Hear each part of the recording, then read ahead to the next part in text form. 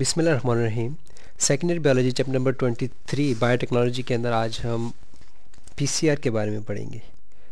PCR that stand for polymerase sorry polymerase chain reaction ठीक है तो पोलीमरेज और चेन रिएक्शन में लहदा लहदा लिख रहा हूँ। वजह यह है कि पोलीमरेज जो है, वो एक एंजाइम है। ठीक है? और चेन रिएक्शन किसे कहते हैं? विच रिपीट इट ठीक है? जो खुद को बार बार रिपीट करे। उस रिएक्शन को आप रिएक्शन विच रिपीट इट उस रिएक्शन को आप चेन रिएक्शन कहते हैं ठीक है? जिस तरह आपने न्यूक्लियर फ्यूशन रिएक्शन या फ्यून रिएक्शन पढ़ा हो अगर तो भी चेन रिएक्शन होता है। तो इस तरह जो पीसीआर है ये भी पोलीमरेज चेन रिएक्शन है। और ये आ, कह लें कि बहुत इंपॉर्टेंट कह लें। इंपॉर्टेंट इन्वेंशन है, मौजूदा सदी की, ठीक है? और इसे जो इन्वेंट किया था या जिसे डिस्क्राइब किया था सबसे पहले इस मेथड को, वो कैरी बी मोलिस था, ठीक है? साइंटिस्ट का नाम था कैरी बी मोलिस ठीक है? इन 1983 के अंदर इन 1983 ठीक है? उसने इसके बारे में बात की थी, यानी इसने सबसे पहले इसके बारे में रिसर्च की थी और इसे प्रेजेंट किया था। सही? सो पी क्या है? Basically it is a technique या सिंगल लाइन में अगर हम इसे कहें it is DNA amplification technique ठीक है जी? डीएनए या फिर जीन ठीक है? उसकी एम्पलीफिकेशन टेक्निक है। एम्पलीफिकेशन टेक्निक ठीक है? अब आपको बता दीजिए एम्पलीफिकेशन से क्या मुराद है? कि बेसिकली यहाँ पे एम्पलीफिकेशन से मुराद एक किस्म की उसकी कॉपिंग है, ठीक है, कि उसकी जो हम कॉपिंग करेंगे, ठीक है। कोई भी आपका जीन ऑफ़ डीएनए है इंटरेस्ट का डीएनए है या जीन ऑफ़ इंटरेस्ट है तो उसकी आपने कॉपिंग करनी है तो उसके लिए जो टेक्निक यूज़ होगी उससे हम क्या कहेंगे? पीसीआर इसके अंदर क्या इन्वॉल्व होगा? इंजाइम ठीक है, हम डीएनए सॉरी पीसीआर का सबसे इंपॉर्टेंट चीज़ ही इंजाइम होती है, ठीक है it is the most important thing in the PCR ठीक अब थोड़ा सा हम इंजाइम के बारे में, कि कौन सा इसमें इंजाइम यूज़ होगा, नाम से ज़ाहिर है कौन सा इंजाइम यूज़ होगा? पोलीमरेज ठीक है? लेकिन ये कोई आम पोलीमरेज नहीं होता। थर्मोस्टेबल पोलीमरेज वैसे आपको पता होना चाहिए कि इंजाइम जो से होते हैं, वो इंजाइम्स आर थर्मोसेंसिटिव थर्मोसेंसिटिव से क्या मुराद है? कि यानी अगर दर्जा हरारत कम या ज़्यादा होती है टेम्परेचर कम या ज़्यादा होगा तो उसका फ़ंक्शन पे डिस्टर्ब करे डिस्टर्ब होगा, ठीक है? यानी उनके लिए एक ख़ास कह लें कि, यानी रिक्वायरमेंट होती है टेम्परेचर की वर्किंग के लिए, ठीक है? दे नीड स्पेसिफिक या ऑप्टिमम टेम्परेचर जिसे हम कहते हैं। They need optimum temperature for working ठीक है? नॉर्मल वर्किंग के लिए उन्हें they need optimum temperature for normal working और जो ही उससे टेम्परेचर ऊपर नीचे होगा तो वो एंजाइम्स काम करना छोड़ देंगे। सही? लेकिन एक एंजाइम इन्होंने कह लें कि प्योरीफाई किया था या एंजाइम इन्होंने इन्वेंट किया था इन्वेंट तो नहीं कहेंगे सॉरी से दरियाफ्त किया था, ठीक है? एक बैक्टीरिया है जिसका नाम है थर्मस इक्वेटिकस थर्मस इक्वेटिकस ठीक है? इस बैक्टीरिया के बारे में कहा जाता है कि it lives in hot water ठीक है? हॉट वाटर में रहता है तो हॉट वाटर से मुराद क्या है कि मतलब it can bear up to कह लें कि seventy two eighty degree centigrade ठीक है? सेवेंटी से एटी डिग्री सेंटीग्रेड में उसके एंजाइम काम कर सकते हैं, या कह लें कि सेवेंटी टू एटी ना भी सही तो मतलब forty two eighty degree centigrade इसके एंजाइम काम कर सकते हैं, ठीक है? सो इंजाइम्स उनसे 40 से 80 डिग्री सेंटीग्रेड में काम कर सकते हैं। हार्ड वाटर का ये कहने का मकसद है। हो गया, जो थर्मस इक्वेटिकस के पास पोलीमरेज इंजाइम है, हम उसको निकालेंगे। क्यों? क्योंकि ये जो थर्मस इक्वेटिकस के पास इंजाइम है, ये थर्मोस्टेबल होगा। थर्मो स्टेबल जो कि थर्मोसेंसिटिव से अपोजिट टर्म है। थर्मोसेंसिटिव से अगर आप गौर करें तो आपको महसूस होगा ये दोनों अपोजिट टर्म है। यानी थर्मोसेंसिटिव से मुराद यानी टेम्परेचर चेंज होगा, काम करना छोड़ देगा। थर्मोस्टेबल से क्या मुराद है? कि टेम्परेचर अगर चेंज भी होगा तो वो काम अपना जारी रहेगा। ठीक है? जारी रखेगा मतलब उस पर उसका कोई असर नहीं पड़ेगा। अच्छा यहाँ पे हम थर्मोसिक्वेटिकस का पोलीमरेज इतना क्यों डिस्कस कर रहे हैं? क्योंकि हमने पीसीआर के अंदर इसी पोलीमरेज को इस्तेमाल करना है।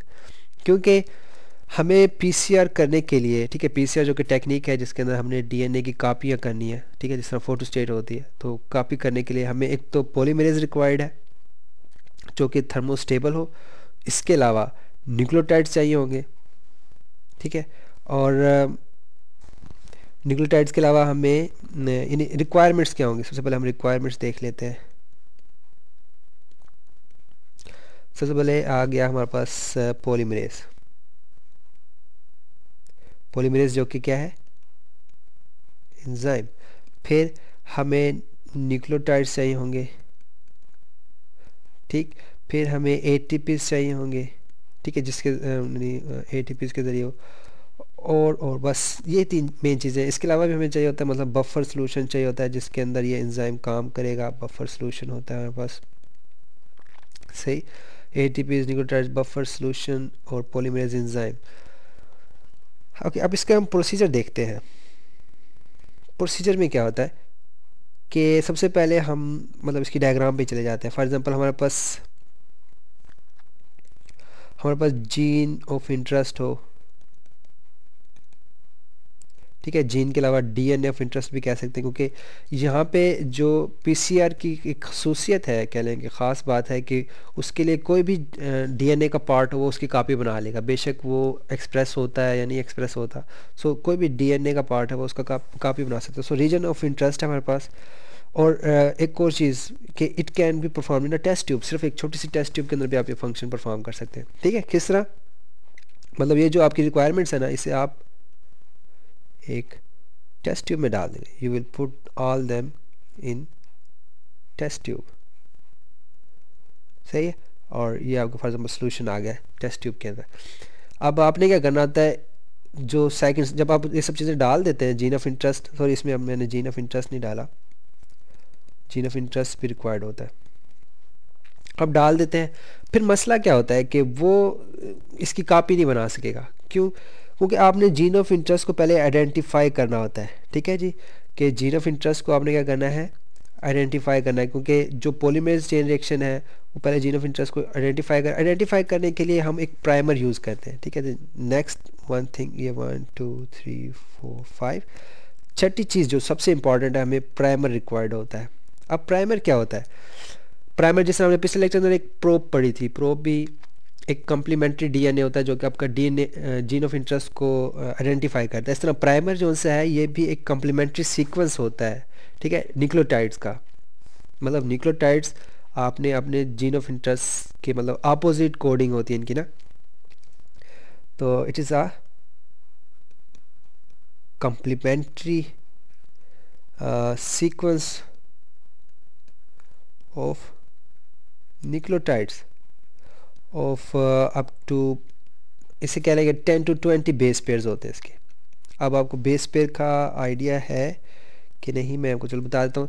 बेस पेयर कहते हैं कि मतलब जो एडेनिन थायमिन साइटोसिन इस तरह नहीं, जो न्यूक्लियोटाइड्स का सीक्वेंस बन रहा है ना, ठीक है? तो वो हर एक जो अपोजिट है वो बेस पेयर है। मतलब इसके अगर हम काउंट करें तो एक तो एक, दो, तीन, चार, पाँच, छः, सात, आठ, नौ, दस। खैर ये ट्वेंटी बेस पेयर का बनेगा इसमें ट्वेंटी बेस पेयर शायद ऊपर नीचे हो जाए, लेकिन ऑलमोस्ट ये ट्वेंटी मुझे नज़र आ रहे हैं, ठीक है? ट्वेंटी बेस पेयर इसके अंदर।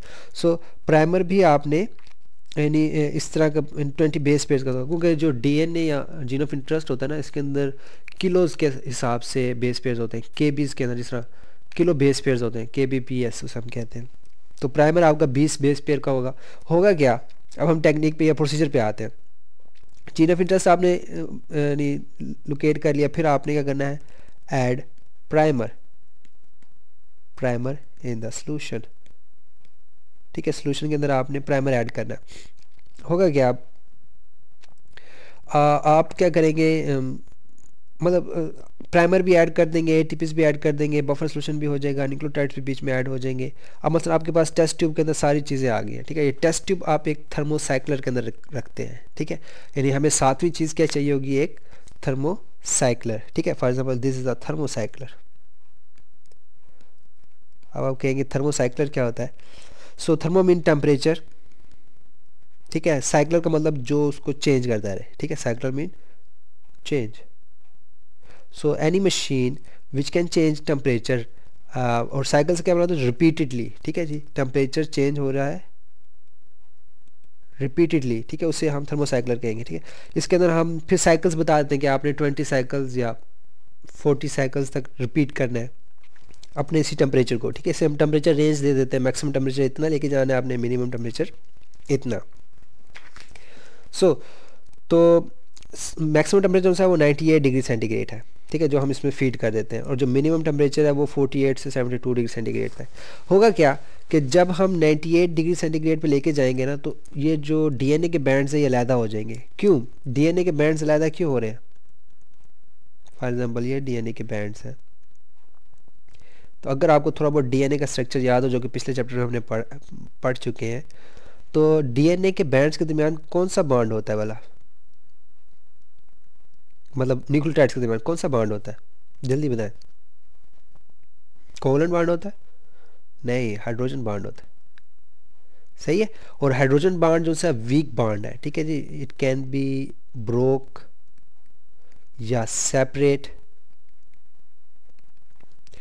ऑन 98 डिग्री सेंटीग्रेड ठीक है? जब हम इसे 98 डिग्री सेंटीग्रेड पे पे लेके जाएँगे तो ये डीएनए के स्टैंड्स अलहदा हो जाएँगे, ठीक है?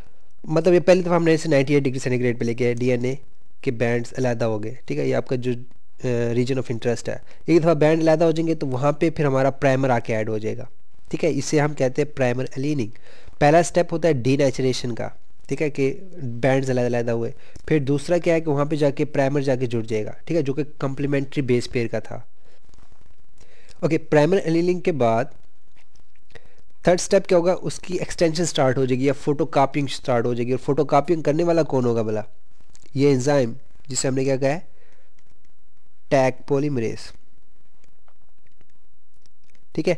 इसमें जो टैग है that stand for thermus aquaticus polymerase जो कि एंजाइम है, जो कि डीएनए की कापी करता है। ठीक है जी? ये डीएनए रेप्लिकेशन के अंदर यूज़ होता है। ठीक है डीएनए जिस तरह डीएनए पोलीमरेज है, इस तरह यहाँ पे टैग पोलीमरेज है जो कि यूज़ हो रहा है। सो ये डीएनए की क्या करेगा? प्राइमर से मतलब प्राइमर इसका स्टार्टिंग रीजन होगा, फिर उसके बाद ये बीच में न्यूक्लियोटाइड्स ऐड करता रहेगा। ठीक है, इसके, इसको ए चाहिए होते हैं जो कि हमने सोल्यूशन के अंदर डाले हुए शुरू के अंदर ही। सही?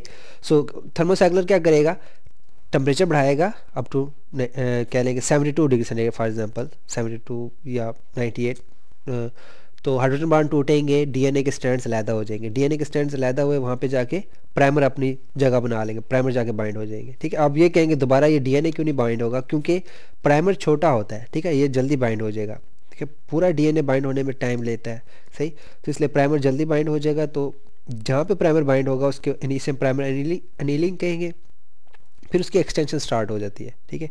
कि जो न्यूक्लियोटाइड्स हैं मतलब न्यूक्लियोटाइड का स्ट्रक्चर आपको, अगर आपके जहन में हो तो उसमें शुगर फास्फेट ग्रुप और नाइट्रोजनस बेस होते हैं तो वो आके अटैच होना शुरू हो जाएँगे, ठीक?